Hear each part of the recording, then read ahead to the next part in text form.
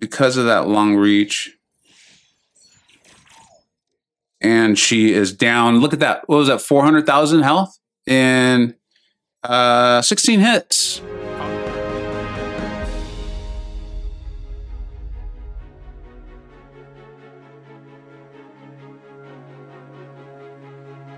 To the channel. Some of you may know I just take Cable up to rank three, and I'm actually pumped up about it.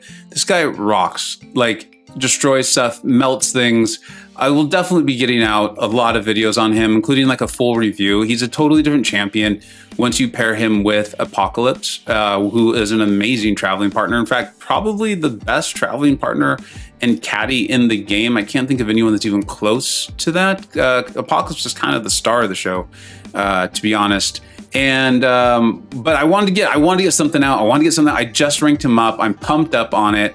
Let's go ahead and show this. If we're to show it, let's do this. So we're just to kill off Apocalypse here. No big deal. Uh, I my my big my big Paco is in um, is in a queue anyway. So you know, hey, it is what it is. So we'll just use a little revive on this guy, and we will horseman cable, which honestly does not.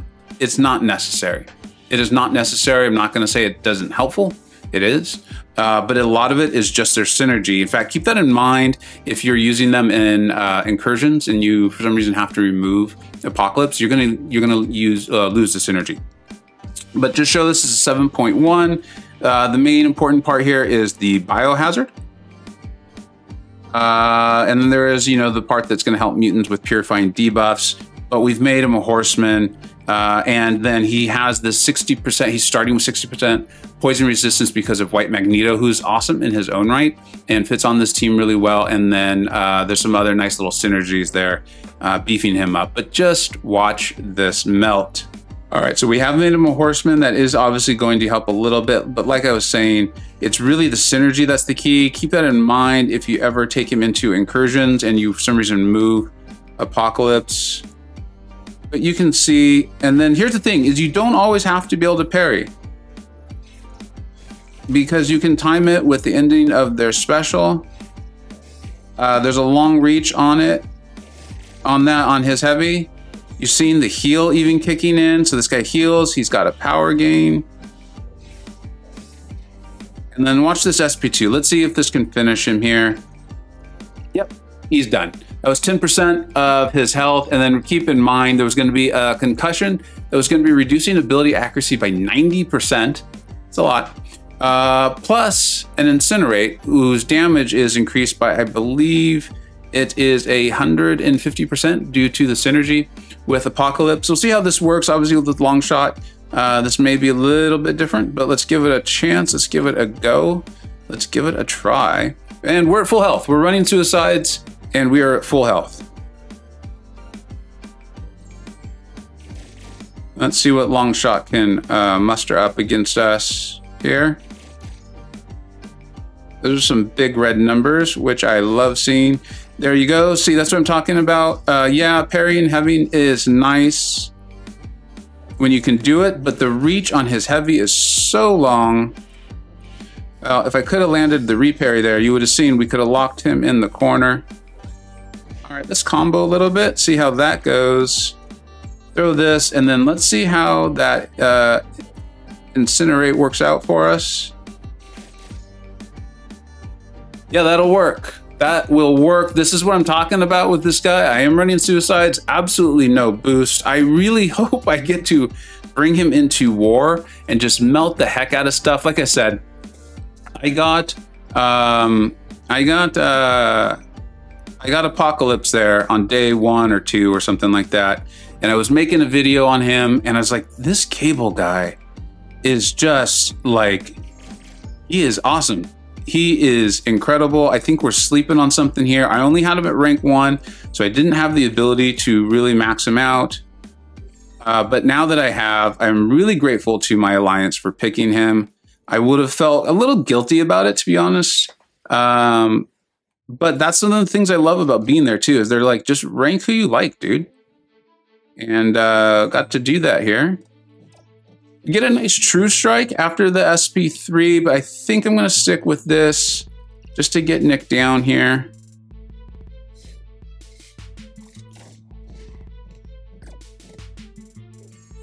See the power gain in the heel, which does kick in. It's, it is nice. Right, let's see if Nick will start killing himself. Always feel a little badly saying that.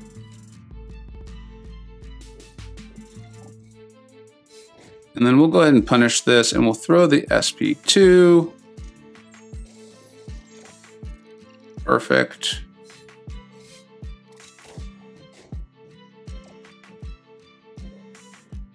Oh, the unstoppable from the horseman there.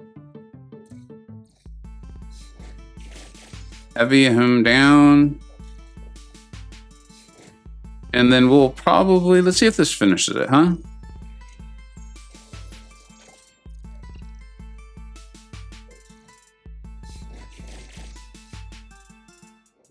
There we go. Not bad. Took a lot of blocked hits there. He's a pretty beefy boy. Uh, so don't feel too bad about that. Curious to see if his if his healing will uh, come in. You know, it, it only triggers, I think, about 15% of the time, I believe, if I got that correct. So we'll see. The heavy is just beautiful, and the damage that comes off of it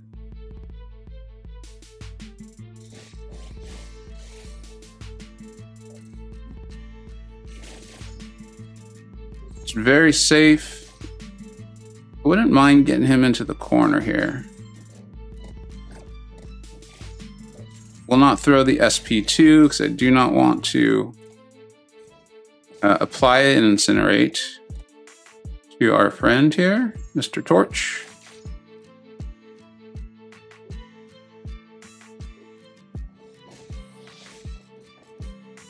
And there is the Unstoppable coming in to help out. So big damage. We've healed off. We have suicides, but we've healed up uh, with that poison resistance. And then, um, as we talked about, oh, that's not good. All right, let's see if we can recover from it. I got the heal. Still wanted to finish the fight though. Let's see here. Uh, Elsa should not be a problem. With our buffs, I guess in in theory, uh, Morningstar might be, but let's take a look. See how this goes.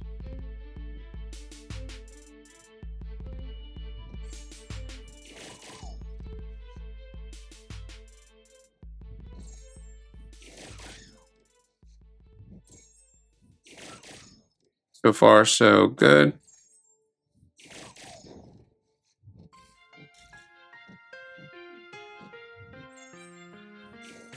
Ooh, long heavy there definitely saved me.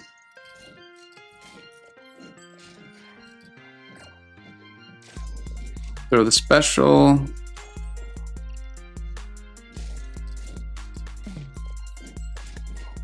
And finish her off. Huh.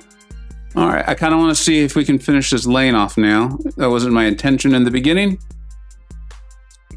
Uh, I'm excited about this guy in case you can't tell. Haven't even used the, the pre-fight yet. Let's go and use it, because why not? Gain a little more attack rating. And then we're going to get that kind of funky passive stun. I don't like it because it does kick you pretty far back, but Cable's heavy reach uh, should make it so it's not an issue. Yeah, we're fine. Fine.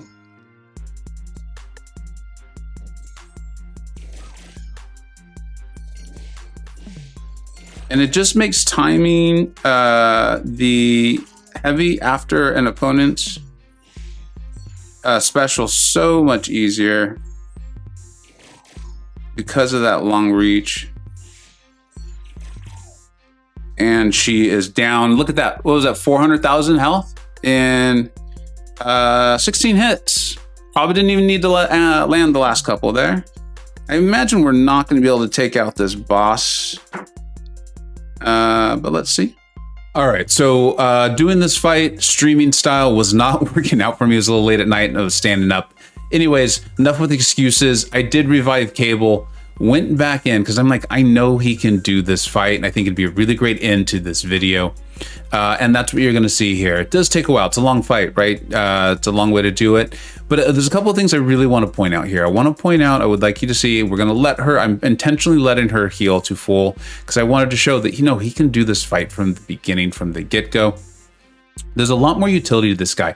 I know uh, a lot of people just like, you know, oh, it's the heavy, parry heavy, parry heavy. First of all, why make something complicated if it can be done easily? And second of all, there's a lot more to him than that. Uh, his specials actually do different things. There's the True Strike, plus the Concussion and the Incinerate. And the Incinerate's really going to play a role here. I'd like you to keep an eye on that because I'm going to need to have it uh, on Gwenperion every time that timer is going off. You can see it in the upper right-hand corner. If that's not on there, she's going to heal up to full. She is immune to ability accuracy reduction, so the Concussion, despite being at 90%, is not really doing anything for us. Additionally, uh, as you saw in the video, a lot of his damage is coming from the heavy and the degeneration uh, that's coming off of that and stacking that. And a lot of that was due to having the opponent at a lower bar of power, right? It is uh, dependent on how low their power bar is uh, when you land it. And so she's going to be at a high uh, amount of power throughout this fight because of the massive power gains. So we're going to be doing a lot of five hit combos. That's not usually what you're going to see out of, out of Cable. You're also not going to see a ton of specials, but that's what's going to happen here. And remember, we have suicides on. So the healing's happening, the suicides are on, so we're healing back the recoil, and because we're having to continuously refresh that incinerate and make sure that is on when the timer goes off for her and her healing.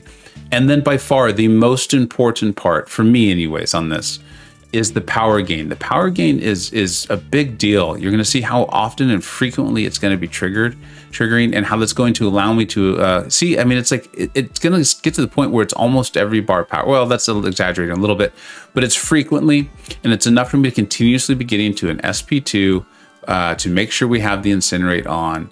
I, this guy is awesome. He is amazing. Um, I, I'm sure I'm going to do a little something at the beginning of the video, but if you're still watching, He's going to get this fight down.